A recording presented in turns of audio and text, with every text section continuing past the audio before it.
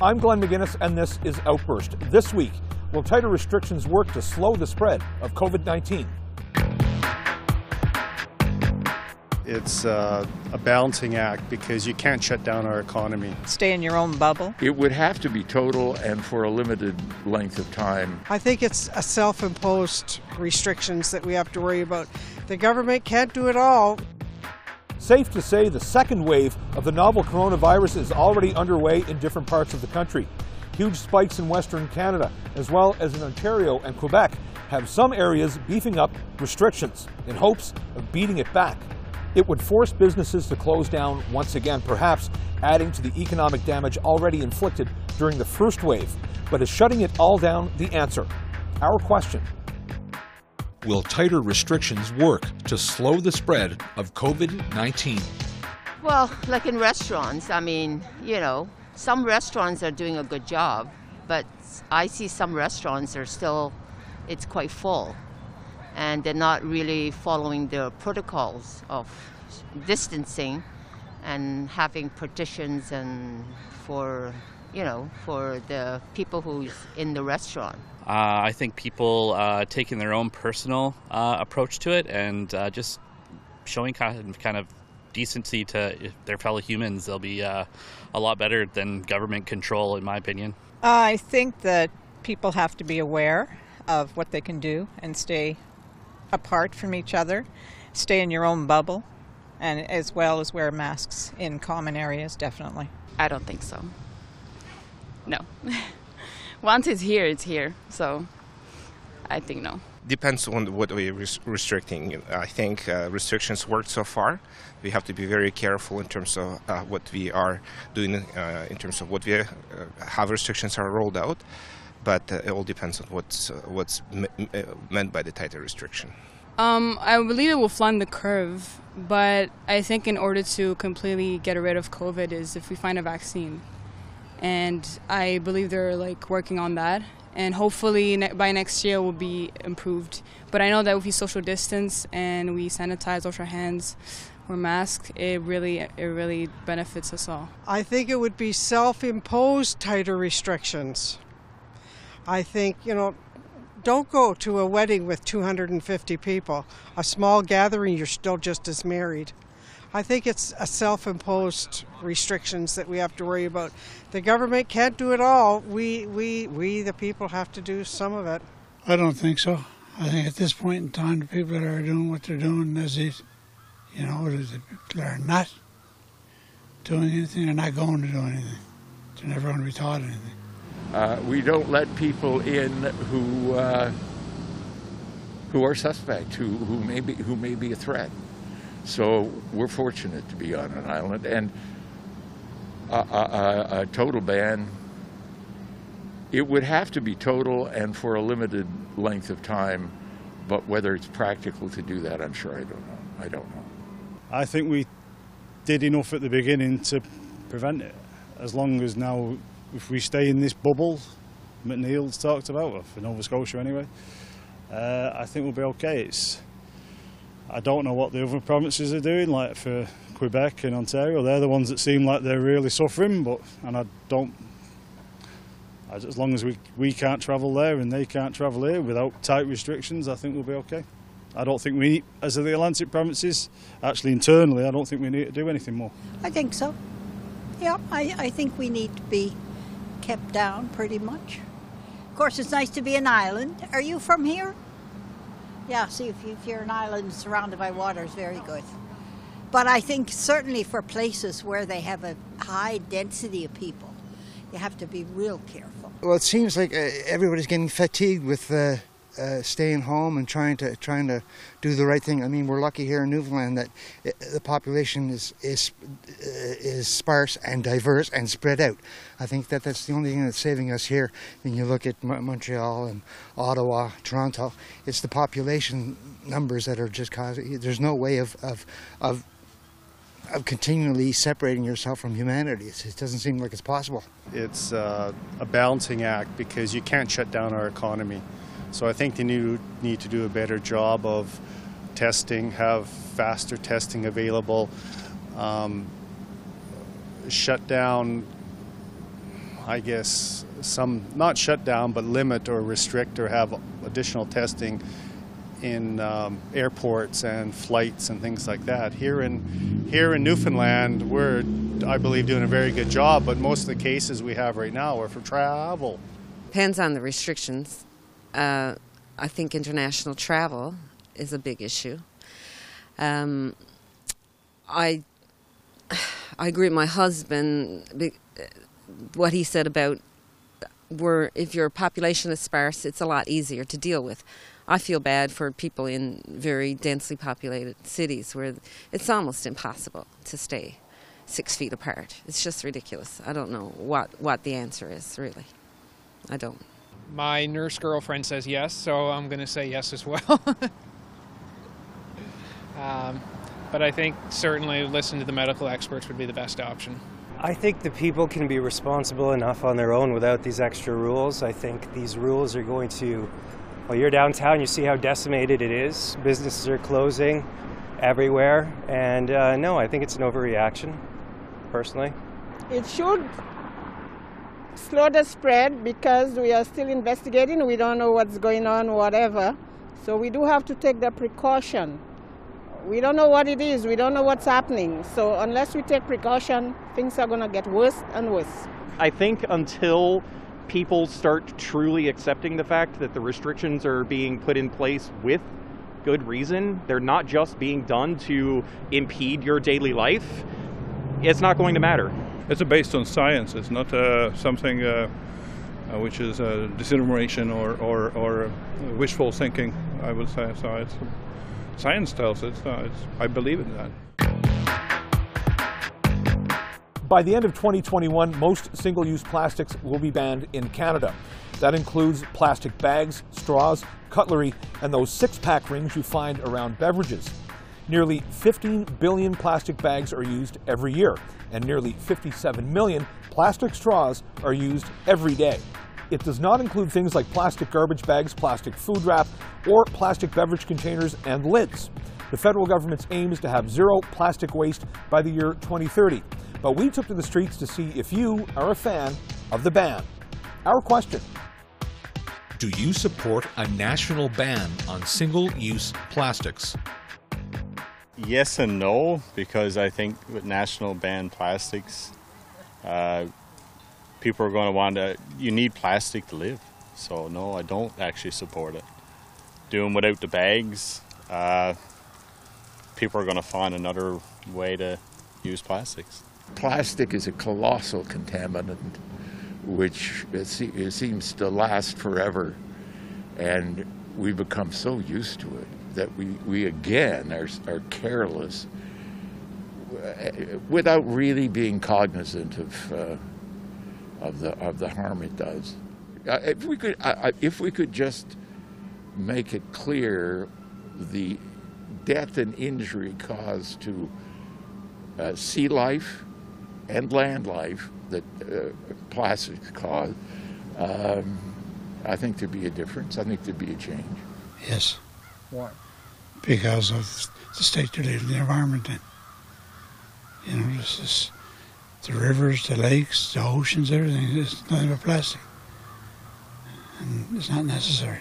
I do. We're from Prince Edward Island, and we I think we were the first province that actually introduced that. And um, it took a few months to get used to, but after a couple of months, it's just second sense to bring bags with you. I got my own bag from home today, and it'd be certainly great for the environment in the long run. Yes.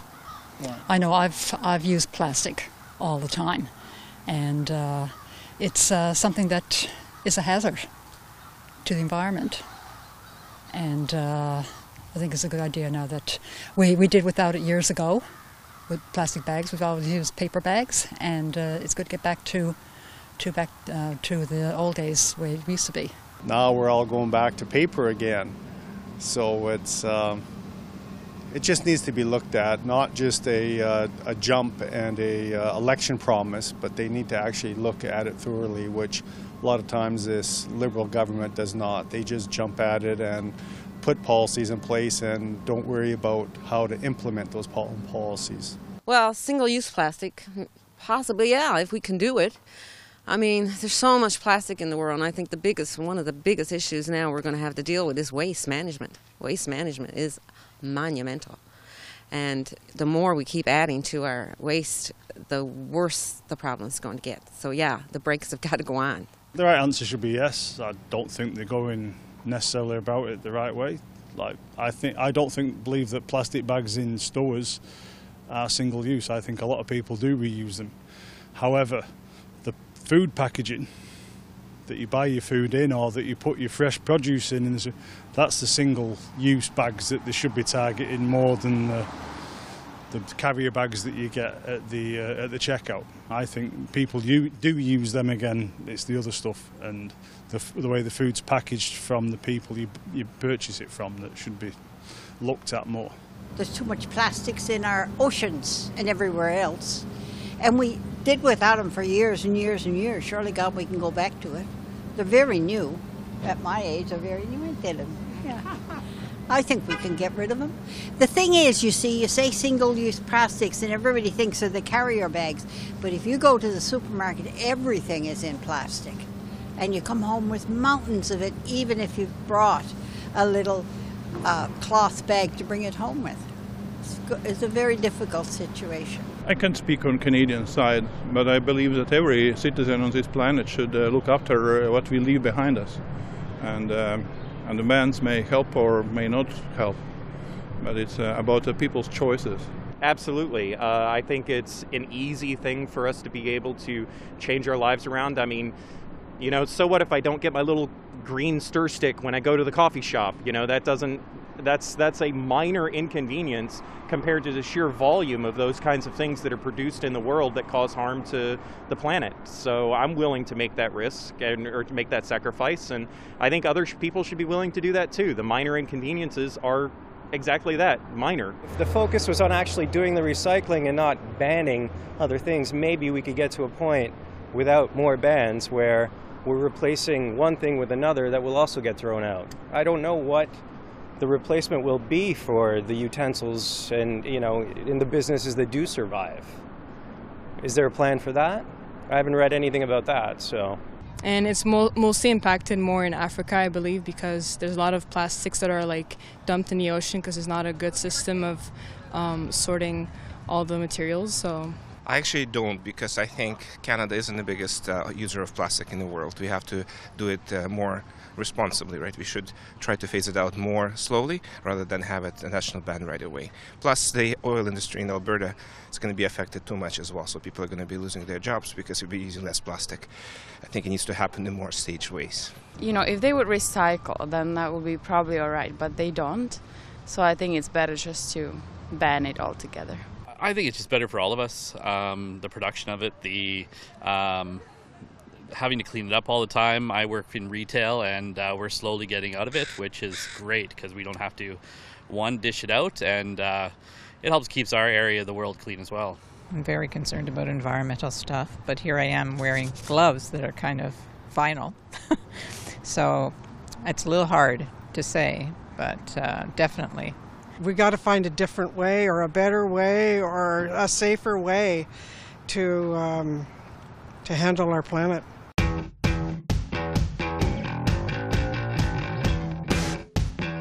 Which world famous landmark was almost temporarily relocated to Canada?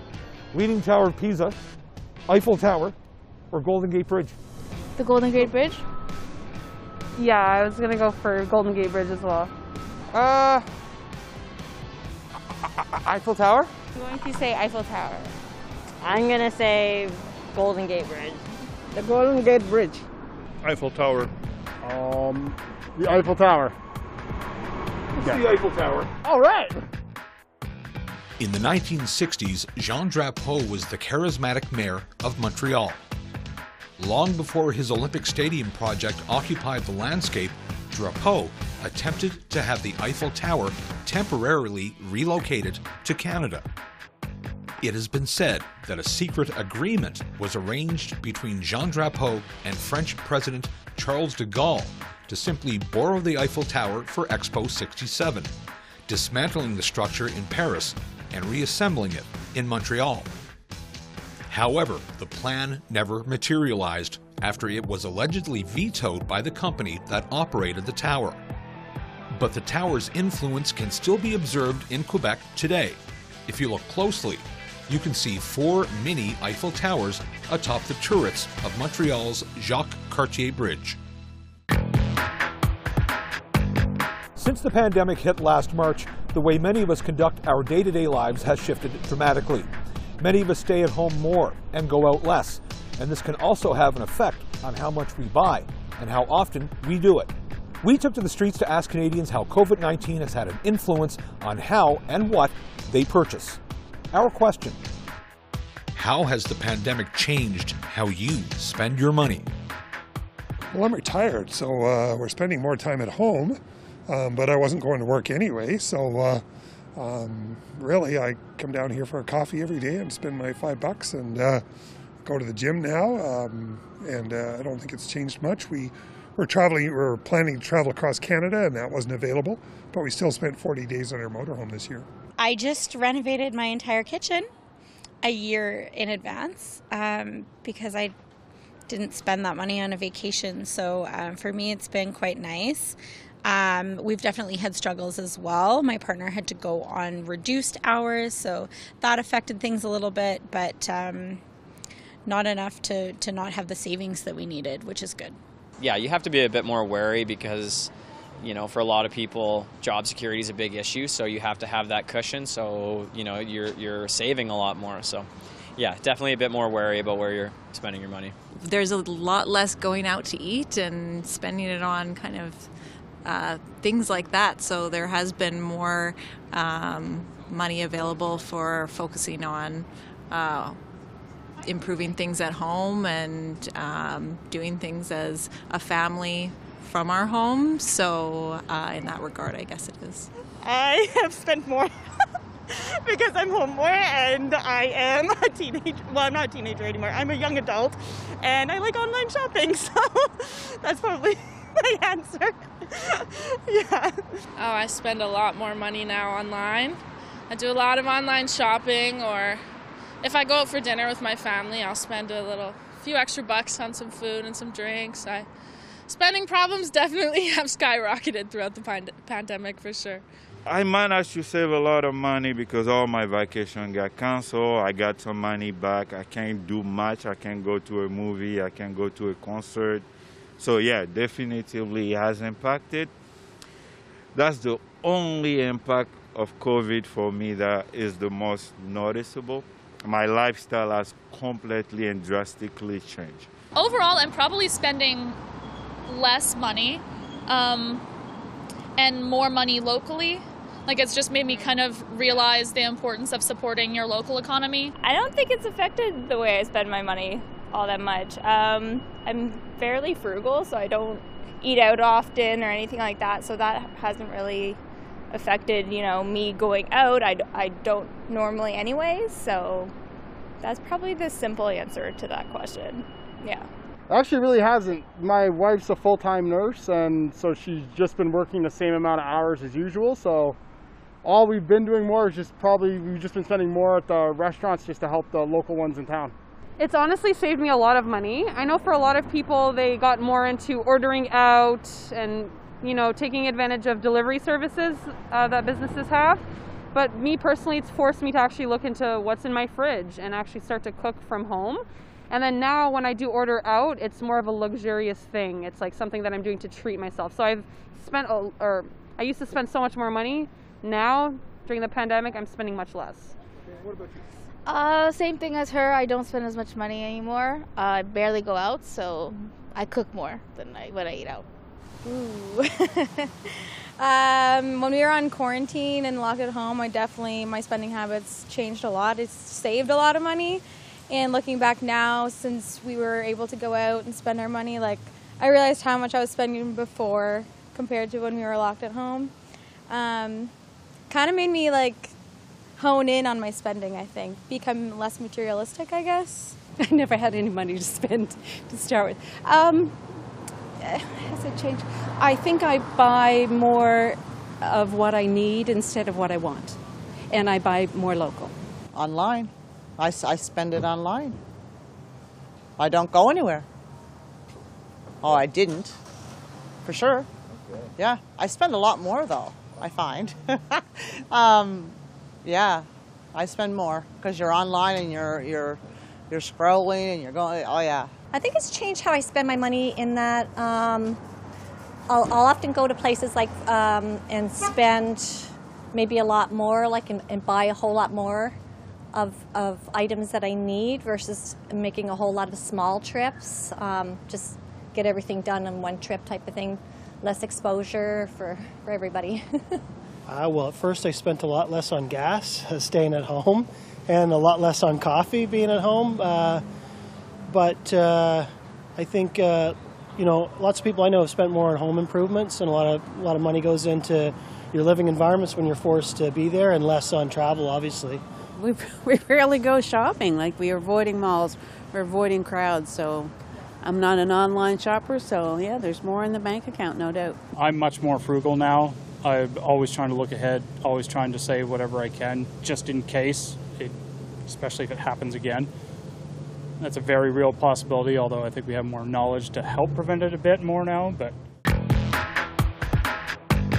Federal politics isn't everyone's cup of tea, and that's become fairly obvious in past years with low voter turnout during federal elections. It can be attributed to voter apathy, brought on by general dissatisfaction with government or with politicians in general. It could also mean that people are simply not informed enough about the issues. So we took to the streets to find out what would make you more engaged. Our question What would make you more interested in federal politics? If we didn't have as much vitriol as we do today, I think a lot more people would be engaged in the way politics are. If you look back in the, the 40s and 50s, certainly there was a, a, a certain amount of vitriol, of course, but there was also a lot more engagement. And I think with um, without that kind of engagement, you're never going to get back to that day where people were willing to work with each other. I guess the biggest thing would be like having people who are more relatable to like someone like me, my age, my demographic. I think just more of an input into what's really going on. I, there might be. I just I have I don't really know much about the politics, but I feel like if more people had more of an opinion, then things might be a little bit better it's not really taught to children at a young age, honestly. Like, it's just something that's sort of left up to people as they grow older. I wasn't really into it until I was at least 20. It was just something that was never offered when I was growing up. So it should be introduced into the educational system. I think having more, um, having more access to the member of parliament. Uh, I think if the cast of characters were more relatable, uh, it would be a little bit more interesting. And I don't mean like caricatures like you see in other countries necessarily, but um, just interesting people in politics with strong charisma would make it more interesting. It's crazy. There's not a lot of my demographic that goes out and votes. It's sad, really, because we're, I think, 60, 60 something percentage of the voters, and you don't see that in the polls. You see my mom's age and like seniors going out to vote. Less childishness, if that's the right word I can find. More real discussion, less, yeah, less, you know, bantering back and forth about ridiculous things. They don't do what they promised. So, I mean, but I mean, that's just life in general, I guess. People are, you know, they try to promote things and tell you they're going to do something and kind of leave you in a lurch once they get into higher up into the government type things. So. A lot of it's like the same things over and over again though. Like a little bit more diversity in terms of like party platform like major parties as well. Like i just feel like it's basically it's basically a two party system without it being a two party system um, so i might be more interested if there was like something pushing the politics forward in canada i guess. I guess i am interested in federal politics but i guess uh, seen them discuss uh, a wide variety of issues that would affect uh, my everyday life or the everyday lives of the people around me and seeing real change being done uh, versus um, arguments between political and party lines, but that there's progress being made on the things that matter to me would be make me sure make sure that I'm being informed and interested in what's being discussed. But when they do something good, for people in need and stuff like that. You know, I do like that, especially when it comes down to like homeless people and people with addictions, because I used to be addicted. And uh, yeah, when it comes to helping out the less fortunate, I, I like that. I guess I become interested in federal politics when it affects my day to day, my family, my life, my home. Um, so as soon as it starts to affect me, I pay a lot more attention. Um, I think thinking back to the curriculum, what we learned in elementary, junior high, um, there wasn't a huge focus. It wasn't that interesting. And perhaps if we started really teaching children at a younger age and really involving them in politics a little bit more, kind of from the, the get go, um, we could have a higher level of engagement. You become a very a better citizen. You you have a better appreciation of how the rule get decided, where the money gets spent, and why it gets spent there, and everything. I really wish that we had a society mature enough to be more politically invested. We need a new leader, real fast. Quicker is quicker the better. I think if it was more tailored to the youth, because I'm 18 myself, so I'm not completely well versed in the politics realm. So I think if they had more people my age kind of voting and showing you what to do kind of thing, it would help a lot. And that's just how I feel about it. I don't know. I think maybe just the way in which it's it's it's presented. I think there has to be, you know, it it's, it seems to be like an old system. I, I think that you know if if it was if it comes down to you know the engagement with people and, and how you're able to communicate with politicians that that's you know makes it more effective to how they're communicating their message. I think that that's really important for people. Um, yeah i you know I, it's hard for me to say because i feel i am quite engaged. I you know i read a lot and and things like that. But uh, i think for maybe um, you know the next generations they're a lot more on social media and things like that. So I think it's just more about relating to them and, and making sure that you're delivering your message in a way that they understand. So. Thanks for watching this episode of Outburst on the Cable Public Affairs channel. I'm Glenn McGinnis. If you have any comments about this show or any other show, you can find us on social media. You can also find us on our website at www.cpac.ca. It's your turn to speak up, and we're listening.